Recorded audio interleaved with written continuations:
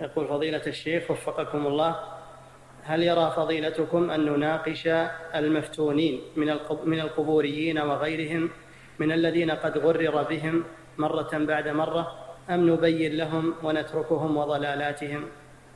والله أنا أرى أنكم تلطفون معهم شيئا فشيئا وإن قدرتم على تلخيص مثل هالكلام مثل هالكتاب بعبارات مبسطة ويسيرة.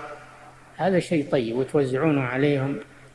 يكون هذا طيب بالكلام وبالكتابة لكن مع اللطف واللين وعدم القسوة لعل الله أن يهديه أو يهدي من شاء منه. نعم.